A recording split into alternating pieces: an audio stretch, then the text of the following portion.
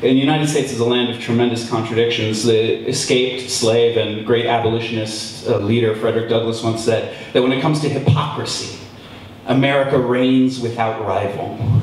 No country in the world raises its rhetoric and promises of freedom, liberty, and equality higher and has as its actual practice baser and more degraded and brutal and disgusting practices at the same exact time. In, in my view, if you had to say, is there one human being who embodies these contradictions, the hopes and the actual horrors, the one person who completely embodies that right now is our president, Barack Obama. On the one hand, you're talking about the president of the United States as a man of African descent. And yet, while he presides, while he reigns, we have more people of his complexion behind bars than were slaves in 1850. It's shameful. We have over 2 million human beings in cages, I think more than any society ever in the history of the planet. And all of the things that are bearing down on the people of all the wrong complexions in the United States, the police, the prisons, the courts, etc., has not eased up one iota during his time. His middle name is Hussein. And yet people with that exact same name fear for their lives because of unmanned aerial drones sent on his orders to their countries, repeatedly dropping weapons of death on them. His father, please don't clap for that. Australia. His father is an immigrant, and yet he is deporting immigrants from the United States at a rate faster than his predecessor, George W. Bush. I believe now he's deported 1.4 million people from the United States, an unprecedented figure. Now, the people, the constituency he's been most loyal to, the bankers, people like Goldman Sachs, they're doing great. In fact, Goldman Sachs is profit, you know, the bank, their, their, their profits uh, from last year have trebled in the last year. They're three times as high. And he has teamed up with some of the richest and most powerful people in the United States to go, you know, the, the geniuses who gave us the 2008 subprime mortgage meltdown.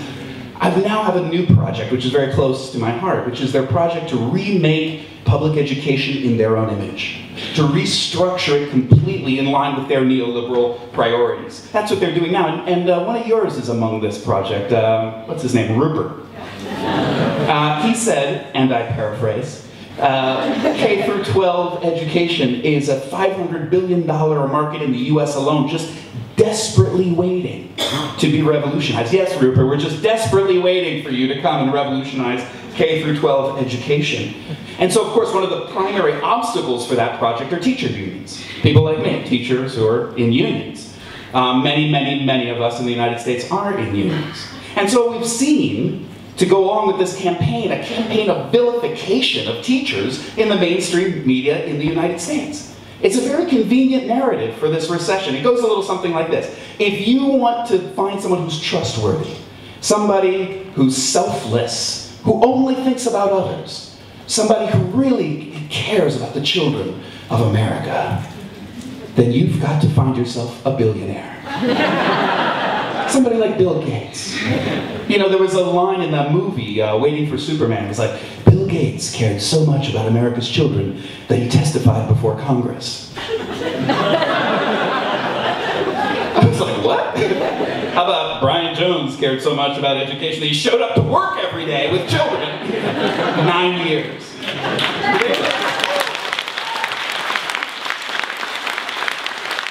But the, yes, I did show. But the flip side of it is that if you want to know who's a real jerk, you know, who's a real piece of work, who's selfish, who only thinks about themselves, the word greedy comes to mind. You're talking about a teacher. you know, there you can't trust them. Especially can't trust them with kids. you know, what we really need are more billionaire teachers. Really, that's what we need. Now, if you just watch television, and my impression is that actually you do watch quite a bit of American television, if you just watch American television, you get the idea that these are, you know, wildly popular ideas. But we have to understand that they have been importantly punctured um, and, and, discredited in large, for large parts of, of the population. Um, I'm thinking in particular of places where teachers themselves have stood up to all of this nonsense and fought back. You see, that's a, that's a lesson for us. When you stand up for yourself, you win other people to your side. Frankly, when you stand up for yourself, it's not until you stand up that there is a side for them to join. And you think about the teachers in Seattle at one single school who said, you know what, the tests are stupid. We're not going to administer them. We're not going to give them. They risk their jobs. The staff at entire school, at one school in Seattle, risked their jobs refusing to administer the standardized tests. And did the public join in in the vilification of teachers when they tried that? No. It went the other direction. The public protected those teachers. That was in January. To this day, even though they were insubordinate, even though they disobeyed direct orders to administer the test, they have been unable to punish those teachers.